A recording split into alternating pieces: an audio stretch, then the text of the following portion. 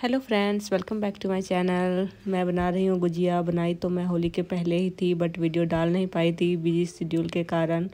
तो आज मैं यहाँ पे दो तरीके से आपको बनाने बताऊँगी। अगर आपके पास मोल्ड है तो आप उससे भी बना सकते हैं, उससे और इजी होगा। और अगर नहीं है तो आप हाथों से भी मोल्ड करके बना सकते हैं।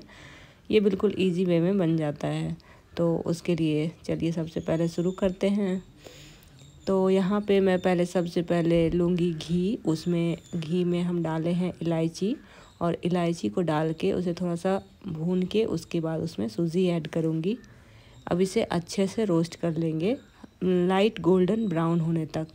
ज़्यादा गोल्डन नहीं करना है, बस एक अच्छा सा सुनहरा कलर आ जाए सूजी में। बस उतना तक ही भूनेंगे और ड्राई फ्रूट जो आप खाना चाहो आप उसमें मिला सकते हैं। जितना आपको पसंद हो उतना डाल सकते हैं। जितना मर्ज़ी आए, वो नारियल का टुकड़ा और किशमिश जो भी डाल सकते हैं आप डाल दो और मीठा जितना आपको पसंद है उसके अकॉर्डिंग चीनी और सबको मिला लेंगे। यहाँ पे मैं थोड़ा सा मिल्क पाउडर भी मिलाऊँगी जिससे टेस्ट बहुत अच्छा आता है। अगर आप खोआ वाला खाते हैं, वो पसंद है तो आप खोया भी मिला सकते हैं उसमें। यहीं इसी स्टेज पे और बस अब इसे हम अलग निकाल के रख लेंगे, ठंडा होने देंगे और यहाँ पे मैं ले रही हूँ मैदा उसमें मैं मिला रही हूँ ऑनियन सीड्स और मोयन के लिए मैं यहाँ पे घी डाल रही हूँ। आप रिफाइन डाल सकते हैं, घी डाल सकते हैं या फिर डालडा अगर खाते हैं तो वो भी डाल सकते हैं, जो डालने का मर्ज़ी हो आपकी। और इसे अच्छे से बिल्कुल गून लेंगे, अच्छे से मसल मसल के गूनेंगे ताकि हमारा गुजिया का जो ऊपर का कोटिंग हो वो बिल्कुल खस्ता बने, बिल्कुल सॉफ्ट बने। ये हमारा डो तैयार हो गया है अच्छे से।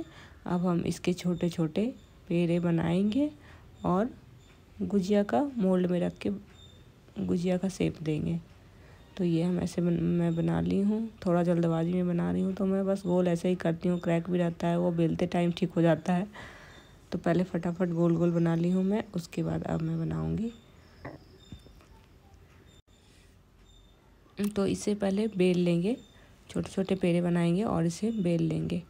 ना ज़्यादा पतला, ना ज़्यादा मोटा थोड़ा सा थिक ही रहेगा इसका। ये देखो, बस। ये हो गया। और अब मैं इसे मोल्ड में रख के गुजिया बनाऊँगी। मोल्ड में इस तरह से इसे रख देंगे और इसके बीच में सूजी फील करेंगे। इस तरह से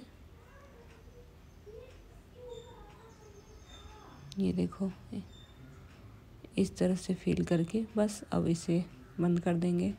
थोड़ा सा मैं साइड में पानी लगा रही हूँ ताकि हमारा गुजिया खुले नहीं नहीं तो तेल में ये फ्राई होते टाइम अगर खुल जाता है तो सारा तेल भी बर्बाद हो जाता है क्योंकि सारा मिक्सचर तेल में मिक्स हो जाता है, वो ना हो, इसके लिए मैं थोड़ा पानी लगा के इसे बंद करती हूँ।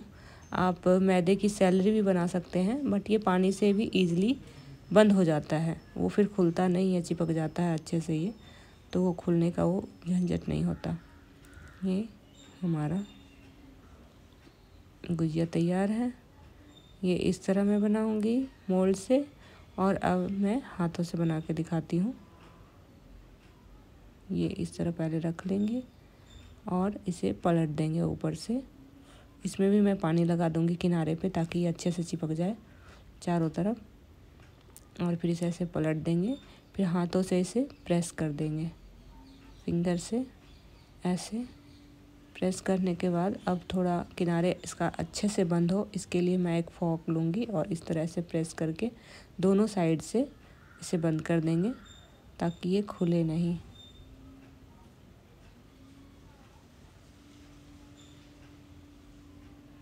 और ये हमारा गुजिया मैं दूसरे साइड से भी करूँगी बंद। और ये हमारा गुजिया तैयार है। दोनों इजी है, दोनों ही झटपट से बन जाता है और बस इसी तरह सारे गुजिए को तैयार कर लेंगे और इसे तल लेंगे।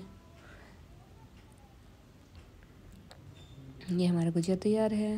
इस, इसी तरह मैं सारे गुजिया को रेडी कर ली हूँ और अब तेल को मीडियम हीट ऑयल गरम करेंगे। ना ज़्यादा गरम होना चाहिए, ना ज़्यादा ठंडा होना चाहिए और फिर एक एक करके जितना आप एक बार में तल सको उतना डाल के तल लेंगे।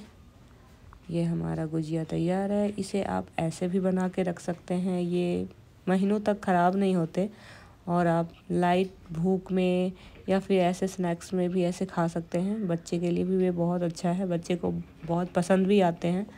बीच बीच में छोटी छोटी भूख मिटाने के लिए ये बहुत अच्छा स्नैक्स है। हेल्दी है और इन्जॉय करें।